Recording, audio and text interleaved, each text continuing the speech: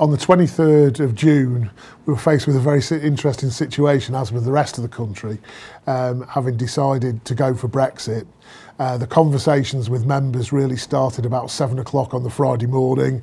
We met people in the street, we talked to them in the business, they came in here, we had phone calls, we had emails, and it became very clear that most members were saying, right, well, the decision's been made as a business, now we've got to deal with this change, crack on and get on with things.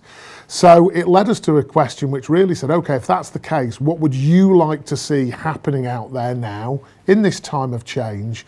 What would you like to see? What are the issues that you face? What are the opportunities that are arising? What would you like to see happening as a member? And that really was where the plan came from. We distilled and compiled all of the answers that we got from members, and that became the 10 point plan.